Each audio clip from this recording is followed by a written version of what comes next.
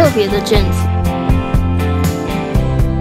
，CCTV 例行全贝结构建筑。而且这个毛泽东去过八达岭，这各个这中国人、大陆人，这一来北京来八达岭是必须要去，必须要去，所以呢人会非常非常多，一多起来就怎么样呢？这旅游品质呢就差很多，差很多。再加上咱们大家又不会征服，啊，我一看八达岭长城，我的妈呀！我说你们，你们你们是要挑战长城呢，还是要挑战挑战大陆人？这怎么了？我人很多，那个排缆车排队要排一个半小时，这个时间的全部都耽误在这个排队上。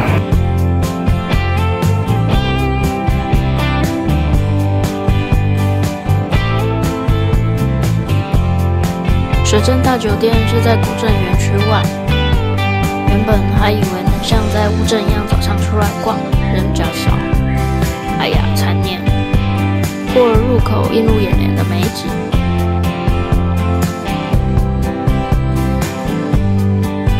因为是跟团旅游，一开始是由导游导览的。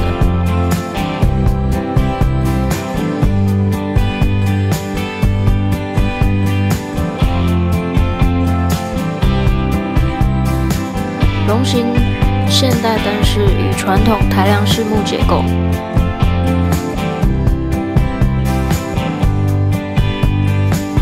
接着午饭后前往司马台长城，沿途很难好好停下来拍张照，因为导游一直赶路啊。有人说古北水镇是北方乌镇，或许是经营手法雷同吧。因为古北水镇和浙江乌镇江南的灰瓦白墙，就是所谓的徽派建筑，还是有不一样的建筑特色。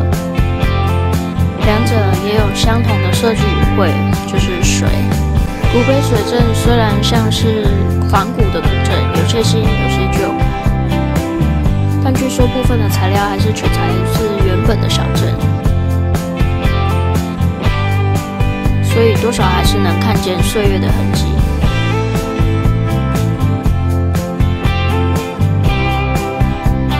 摇橹游船票价不菲啊，团体票没附游船，只含缆车、长城、电瓶车。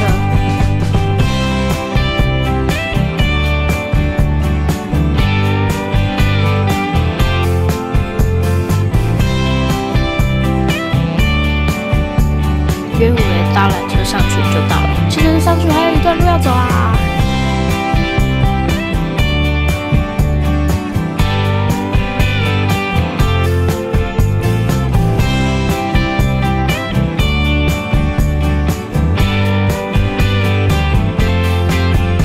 长城中较险峻的一段司马台长城，夜游古北水镇，傍晚的古北水镇。